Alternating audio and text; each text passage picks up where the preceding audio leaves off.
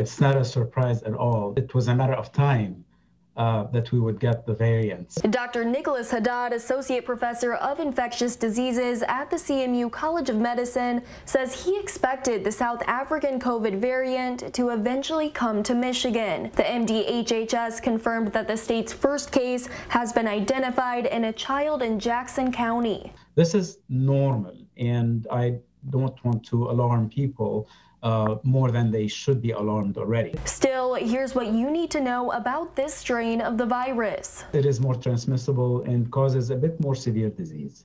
More contagious means a faster spread. So what exactly does more contagious look like when we're talking about this new variant?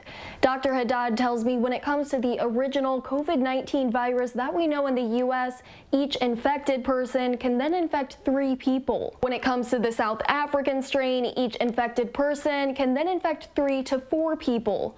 It's essentially a higher rate of transmission. So what about the vaccines? Will they protect against this strain? Vaccines do work partially against most of the strains, but definitive information is being uh, recovered as we as we speak. He says exact figures are still being researched, but new strains shouldn't keep anyone from getting vaccinated. The most important aspect of vaccination is that they reduce the severity of disease, and that's why they're highly encouraged. I'm Kendall Keys, WNEM TV5.